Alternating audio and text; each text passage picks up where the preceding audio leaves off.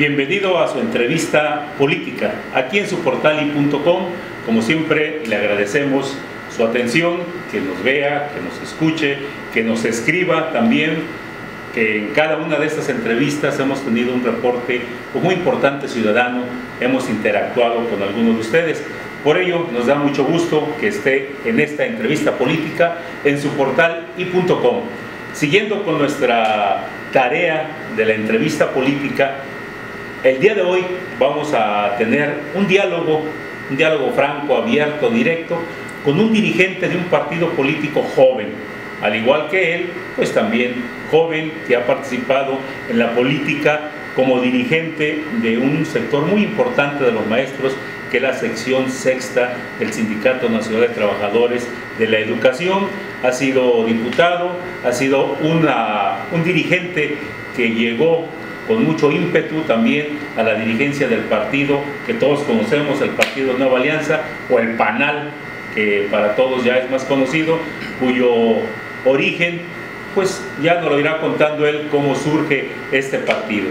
Por eso nos da mucho gusto, Alfredo Hernández Ramos, que estés aquí con nosotros en IN.com para que en esta entrevista, por los ciudadanos conozcan qué está haciendo el partido, si es un parte del PRI o es un partido independiente o cómo estamos en este trabajo. Así que siempre nos da gusto tener la presencia de un líder carismático, de un líder inteligente con esa sabiduría política como la tuya, para que en esta entrevista poder tener un espacio de diálogo que nos permita conocer a fondo el trabajo político del panel. Muy buenas pues días todavía, ya estamos casi en las tardes, pero bienvenido Alfredo. Muy buenos días, Miguel Ángel. Gracias por la invitación que nos hace esta tan importante portal que sin duda es muy visto por la ciudadanía.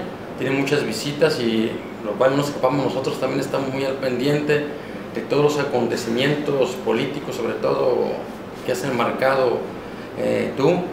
Eh, decirte que Nueva Alianza es un partido que empieza a generar partes importantes en 2005 y nuestra primera participación a nivel nacional se da en 2006 decirte que Nueva Alianza en Colima, yo tengo diciembre para que asumí el cargo de dirigente estatal de Nueva Alianza y lo asumí y acepté el cargo porque de inicio pues parte de, parte de este partido se genera y se inicia dentro del magisterio, dentro de los trabajadores de educación, dentro de las secciones 6 y 39 y en todo el país, ahí inicia y parte de ahí y de ahí se desarrolla hacia la ciudadanía cosa muy interesante, cosa muy importante y que hoy vamos generando día a día aceptación, vamos generando día a día acercamiento de la gente con nosotros, nosotros con los ciudadanos y día a día vamos generando la afiliación de muchos ciudadanos colimenses este, aquí en nuestro estado. Por lo cual decimos que es un, un partido joven, si es cierto, pero también un, es un partido grande, grande por su ideología y sobre todo porque es un partido que va de acuerdo a la modernidad, es un partido que va, está, quiere estar muy de cerca con las grandes necesidades de la población, es un partido que respeta mucho su plataforma política, su ideología, es un partido liberal completamente, por lo cual decirte que eso le interesa a la ciudadanía mucho porque yo creo que muchos de los partidos Mm, han buscado otros intereses, algunos de ellos se han alejado, han tenido alguna distancia ya de la ciudadanía. Yo creo que un partido debe generar, aparte de tener este, posiciones políticas eh, o tener puestos políticos y públicos, debe de seguirse generando ese acercamiento con la gente y que se resuelvan las verdaderas necesidades de la ciudadanía y que no sea un partido político que únicamente busque sus propios intereses y no los de los ciudadanos. Creo que Nueva Alianza ha levantado la mano en ese sentido y sí es un partido que tiene joven, que tiene poco que inició, pero que vamos dando pasos muy agigantados, pasos firmes en busca de la participación este, para el 2015.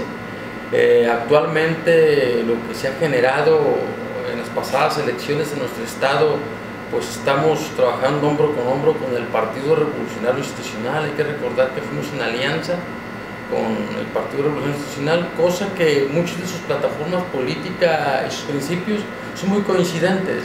En ese sentido, por eso es muy fácil adaptarnos, aparte de firmar documentos que una vez ocupando los cargos públicos deben de respetarse entre los dos partidos. Creo que se ha respetado ese punto muy importante.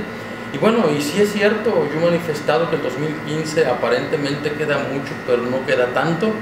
2015 queremos generar en la posibilidad de tener, estamos trabajando para tener nuestros propios candidatos. ¿sí? y no sabemos si también en un futuro vayamos así en ese sentido solos o tendremos que hacer alguna negociación, algún acuerdo, alguna alianza con algún partido político como la tenemos actualmente con el PRI.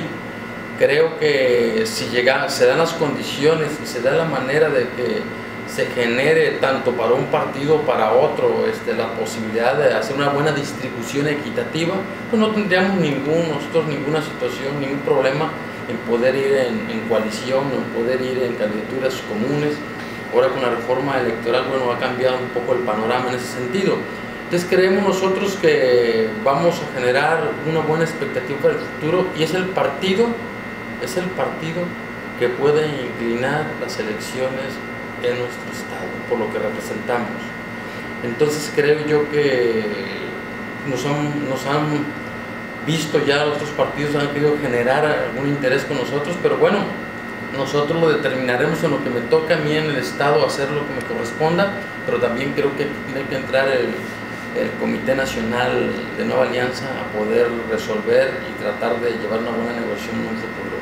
Creo yo que Nueva Alianza trae muy buena perspectiva, Nueva Alianza queremos crecer, queremos demostrar a la gente que es un partido interesante y que va de la mano con la sociedad. Alfredo, señalas en el 2005 la constitución del partido, la primera elección de ustedes fue en 2006. Yo recuerdo que en aquella ocasión se festejaba mucho porque llegaron a la cuarta fuerza política a nivel nacional con un 4.8% de la votación, que esto nos daba un promedio de 1.850.000 votos. Esos mismos eran, son los maestros, es decir, es un partido corporativo de maestros o es un partido que está abierto a la sociedad y que la base es parte del magisterio? Sí, yo creo que eh, el partido nace siendo principalmente de los trabajadores de educación, de los maestros. Ahí nace, y un gran porcentaje eran eh, trabajadores de educación y eran familiares de los trabajadores de educación. Y muy poca sociedad que no pertenecía a, este sindicato nacional de trabajadores de educación, así era. Creo que con el tiempo se ha venido valorando la responsabilidad del partido, se ha venido generando de alguna manera penetración hacia la sociedad y tal es el caso pues de que en la actualidad tenemos nosotros la, la gran posibilidad de, que, de pasar de ser un partido en formación a ser un partido eh, derecho, un partido grande, un partido que, que reúna las características, como son otros partidos que de alguna manera son los que encabezan ahorita aquí en nuestro país. Creo que es un proceso que no es fácil, es un proceso complicado, pero sobre todo tenemos que generar el interés de la sociedad. Para que sea un partido grande tenemos que generar que la sociedad se interese en él. ¿Cómo? Bueno, pues resolviendo la problemática que tiene la sociedad. ¿Cómo qué? yo decía que somos un partido este, de vanguardia, hay que ver por la ecología, que tantos alumnos, tantos padres de familia, tantas instituciones están luchando por la ecología, por preservar esa ecología, por preservar nuestro medio ambiente, por preservar nuestro mundo. Hay que ver por otro algo muy sentido que es la educación, que está en boga ahorita, la educación con la reforma educativa, pero que sin duda este, le apostamos a una reforma educativa, pero una reforma educativa también nosotros que genere este, supervisión hacia los maestros también, pero también hacia la autoridad, que se vea si el presupuesto que se generó, que debe ser mucho mayor eh, que, que, se dé actualmente como se daba anteriormente, pues para que se revise si todo el presupuesto aterrizó verdaderamente en la situación educativa. Que se, si se va a hacer examen a los maestros, que se les aplique el examen, los maestros no están en desacuerdo, pero que se le aplique un examen a la autoridad también. Hay que revisar también si la autoridad nacional tiene perfil para encabezar este, la Secretaría de Educación. Hay que revisar si es un profesor, si es un investigador, si es una persona, un pedagogo, una persona que haga propuestas educativas. Hay que revisar eso también. Y en los estados también yo creo que la dirigencia estatal y nacional no está peleado, sino que de alguna manera tiene que revisarse muy a fondo. Los planes y programas son los mismos, no han variado, no han cambiado. Entonces, más bien fue una reforma laboral. Y le apostamos por una reforma educativa que traiga beneficios a los alumnos, a las familias, a los padres de familia, pero una, una revisión a fondo. En empleo hay que ver eh, cómo generar el empleo también, que, que es algo muy interesante en nuestro país y para nuestro partido también, revisar el empleo, la seguridad, este, cómo hacer mejores policías, cómo tener mejor resguardo en nuestras colonias, en nuestras comunidades, en nuestra sociedad. Hay que generar que el policía sea un amigo de, del vecino, que sea un amigo del ciudadano, y no que a veces se genere ese temor del ciudadano hacia el policía de, de poderlo encontrar y no tenerle respeto. Creo que un policía debe ser respetado, debe ganar bien policía para que se dedique a su función y debe ser capacitado, y creo que Nueva Alianza por ese rumbo vamos en esos rubros tan importantes que nos debe de generar una estabilidad en todos esos aspectos que yo comento. Oye Alfredo, ese crecimiento del panal, ¿lo quieren hacer de manera autónoma o agarrados de un cordón umbilical del PRI?